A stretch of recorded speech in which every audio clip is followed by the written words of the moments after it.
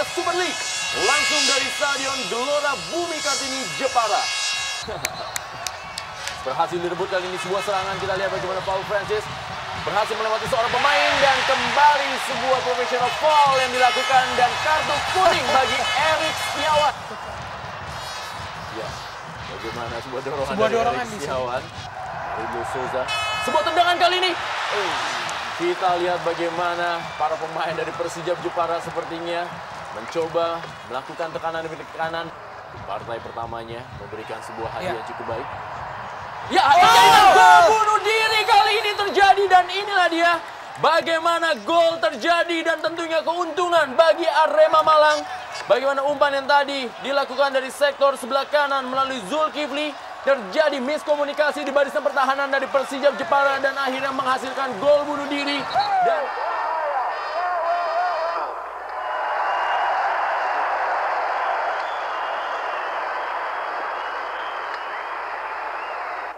Saya pikir harus pemain-pemain lini kedua dari pemain Persija Jepara harus lebih kreatif untuk coming from behind untuk mendapatkan Terjadi perebutan dan kita lihat scrimmage di depan gawang, di mulut gawang dari M. Yasir masih dapat ditangani dengan baik oleh M. Yasir.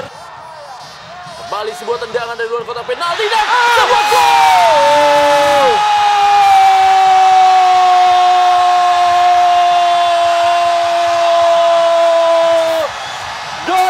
Siregar akhirnya memberikan sebuah kado istimewa kepada Jetman dan juga Badas Mati yang hadir di Stadion GBK untuk menyamakan kedudukan menjadi satu-satu.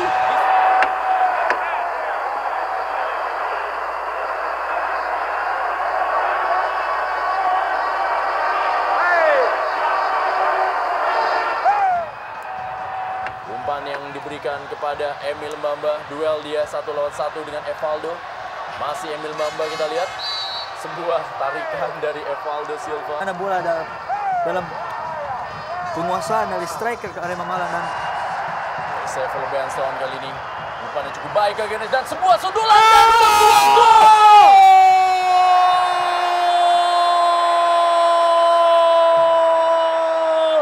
Sebuah gol dari Sulemane Traore membuat publik di stadion GBK terhenyak. Sebuah gol yang merubah kedudukan menjadi 2-1 di menit-menit akhir.